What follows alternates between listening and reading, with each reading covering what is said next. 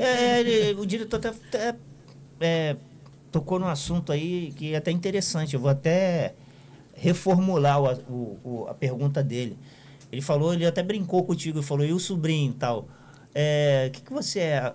O que, que você quer me diz sobre o negócio de. Aí se fala em sexto, né? Incesto, sim. Quando é parente, né? Sim, Filho. é. O que, que você acha sobre isso? Sobrinho, se tivesse um sobrinho bonitão, pá, ele, pô, sei lá, ficasse. O que, que você acha disso? Eu sei por bastante respeito, assim. Eu sei separar É. as coisas. É, eu tive um sobrinho que foi criado, que eu quase criei, que eu cuidei muito, assim, bem novinho. Eu gosto- primo, pode ter um primo também. É, Apesar que- de que primo já não tem muita. Não, não tem mais Quem contato. nunca pegou uma prima, né? É, mas chega uma certa idade que a gente não tem mais contato com o primo, né? Então, Uhum. eu sei que eu tenho vários primos que assinam meus conteúdos. É mesmo? Eu sei. Eu sei. Então a minha pergunta não foi tão. Então, sim, sim, diretor, é verdade. E, já, já, já, já, É, já eu sei direitinho cabeça assim quem um são primo? meus primos. Meu tio que assina meu conteúdo, que ele é casado. O tio? Aham. E aí depois ele foi lá e falou, ah, que foi comentar com a, com a ex-esposa, com a, com a filha, com todo mundo, até chegar na minha mãe, ai, ela tá dando conteúdo, minha mãe disse, eu já sabia. Daí quase que eu disse, fala pra ela que o marido dela assina meus conteúdos. Mas aí Caramba. também não vou fazer isso, né? Porque daí é muita... É, senão tu vai não. perder um assinante, né? O mais É o que eu- importante. É o que eu menos quero. Eu quero eu- ela- minha mãe fala alguma coisa, eu falo assim, mãe, fala isso. Inclusive diz, pode ir lá assinar, é maravilhoso os conteúdos dela.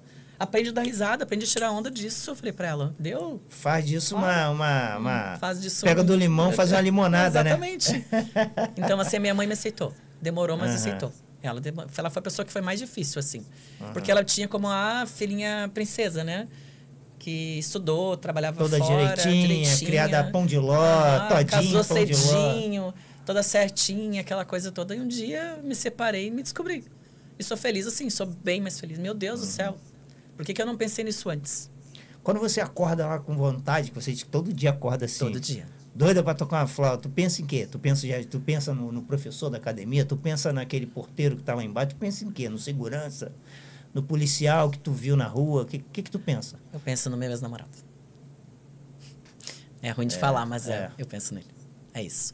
E eu penso, eu acho que eu acho que a gente não tem muito pensamento. Aquilo ali vibrou, tocou, tu tem que estar tocando, te fecha os teus olhos e vai que. E assim, eu sou bem rápida para isso, até porque todos os dias eu tenho que fazer.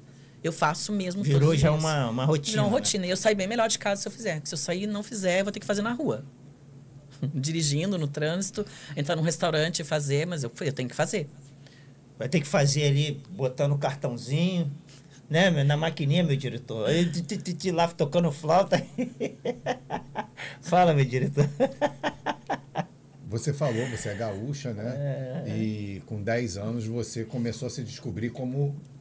É, a- a- não vou falar como mulher ainda, mas a parte sexual da coisa. Mas e a criação religiosa? Isso impactou em você em algum momento? Você, como é que foi isso na sua vida? Eu fui, fui temente a Deus. Né? Eu tenho uma. Minha, minha, minha avó, que já é falecida, ela sempre me ensinou muito a rezar, e com 12 anos ela me deu uma Bíblia. Então, assim, eu sempre. É, eu não enxergava aquilo como um erro, né? Ter aquela revista, jamais. né? Até porque uma coisa é, né? Você ter a sua crença, outra coisa é você ter prazer, né? Pelo amor de Deus. Eu sei que era cedo, mas, assim, ah, não, não me enxergo como errado em tudo que eu faço hoje. Não me enxergo. Rezo todos os dias, agradeço a Deus, sou bem, a minha religião é essa. Eu sou só católica. Acaba mais catolicismo, né? O cristianismo. Exato, né? exatamente. Então, assim, ah, não deixa eu atrapalhar, não fico pensando que é errado, deita minha cabeça no travesseiro, não devo nada para ninguém. Entende? Então, assim, foi o meio que eu, que eu vi de ganhar dinheiro da separação. Uhum. Mas é um meio que eu entendo que tem começo, meio e fim. Então, assim, eu já tenho uma pretensão de uma data X de sair. É uma coisa que eu entrei, mas hoje, daqui a pouco, para mim, tem um limite.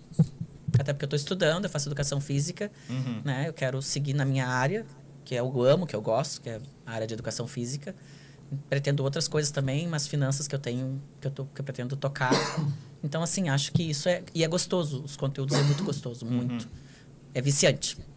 E você, você falou uma coisa aí que eu iria, eu iria te perguntar sobre isso aí. Parece que você estava adivinhando.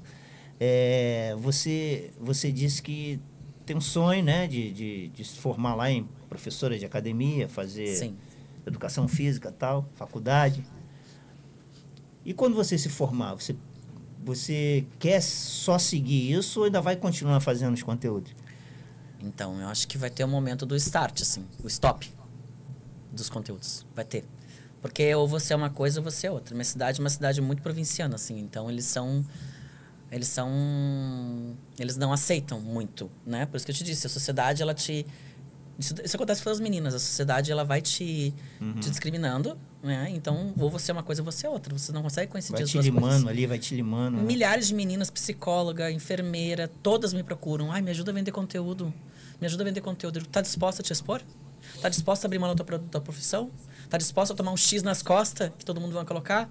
Teus tios, todo mundo? Não. Não tem outra forma. Eu disse, não, não tem outra forma. Como é que tu vai vender um conteúdo lá no Privacy sem divulgar ele que tu tá lá? É lá, não tem como, não, não tem como. Então, assim, toda a sua profissão, ela, ela, ela vai te... Não adianta. Eu ouço amigas minhas que estão tá se formando em Direito e elas dizem, ah, não sei se eu quero seguir. Eu acho que eu quero vender conteúdo. Está se formando. Então, assim, a maioria das mulheres. Vai chegar um momento que isso daí Entendeu? Os conteúdos vão. Eu acho que vai se fechar. Mas hoje é a Playboy brasileira, né? É. É a Playboy. Cadê a Playboy? A Playboy cadê é a sexy, é a sexy. A sexy, cadê? Não tem, tá ali, tá tudo ali. E até os vídeos, os vídeos pornôs de antigamente são os, é. os conteúdos, né? Das produtoras que eu acho que, sei também. lá, já está acabando. Eu acho já. que também, eu acho que Vai também. acabar. Eu até pouco tempo recebi uma proposta de um é. filme, assim, mas aí não dava para aceitar. Era é, o cachê é muito pequeno. Não. É... Pequenininho cachê. Mas o negócio não, entendeu? O outro negócio não. É, exatamente. Ah, o, cachê era pequeno, mas o negócio era grande. Não, era de um senegalês, assim, tipo, né? Ia para fora. Uhum. Tinha que ser ele bem dotado. Ele disse que tinha uns 20 e poucos. Eu falei, não, eu não.